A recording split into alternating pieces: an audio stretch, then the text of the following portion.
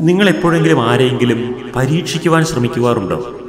ഒരാവശ്യവുമില്ലാതെ ഒരാളുടെ കഴിവ് മനസ്സിലാക്കുവാനോ അയാളെ അപമാനിക്കുവാനോ വേണ്ടി ഏതെങ്കിലും തരത്തിൽ പരീക്ഷണങ്ങൾ നടത്തി നോക്കാറുണ്ടോ? എങ്കിൽ ഇത് നിങ്ങൾ നിങ്ങൾക്ക് തന്നെ വരുത്തിവെക്കുന്ന വലിയൊരു ആപത്താണെന്ന് തിരിച്ചറിയൂ.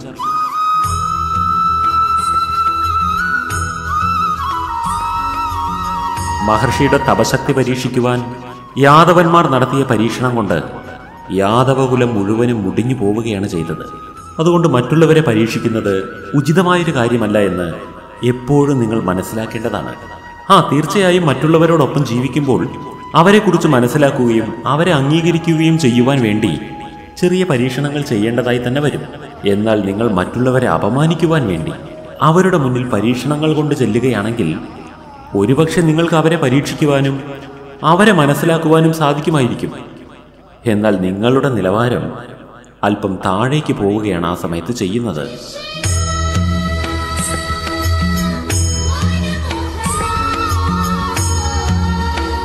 മറ്റുള്ളവരെ മുഴുവൻ പരീക്ഷിക്കുകയും മറ്റുള്ളവരെ വിലയിരുത്തുകയും മറ്റുള്ളവരെക്കുറിച്ച് തീരുമാനങ്ങൾ ഉണ്ടാക്കുകയും ചെയ്യുന്നതിന് നിങ്ങൾക്ക് ഈ പ്രപഞ്ചത്തിൽ ഒരു നീതിപാലകന്റെ സ്ഥാനം ആരും നൽകിയിട്ടില്ല.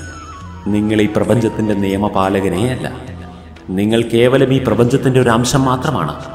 അതുപോലെ ഈ ലോകത്തിലുള്ള എല്ലാ വ്യക്തികളും പ്രപഞ്ചത്തിന്റെ ഒരു അംശം മാത്രമാണ്.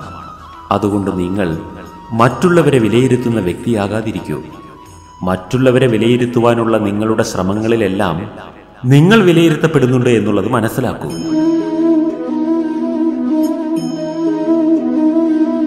മറ്റുള്ളവരിൽ നന്മ വളർത്തുവാൻ വേണ്ടി പോലും നിങ്ങൾ ഒരു തിന്മയെ ആശ്രയിക്കുകയാണെങ്കിൽ ഒരുപക്ഷെ അവർ നല്ല വ്യക്തിയാവുമായിരിക്കും. പക്ഷെ അപ്പോഴേക്കും നിങ്ങൾ ഒരു മോശം വ്യക്തിയായി മാറിക്കഴിഞ്ഞിട്ടുണ്ടായിരിക്കും. അതുകൊണ്ട് സ്വന്തം അസ്തിത്വത്തിന് നാശമുണ്ടാക്കുന്ന രീതിയിൽ മറ്റുള്ളവരുടെ അസ്തിത്വത്തെ ചോദ്യം ചെയ്യാതിരിക്കും.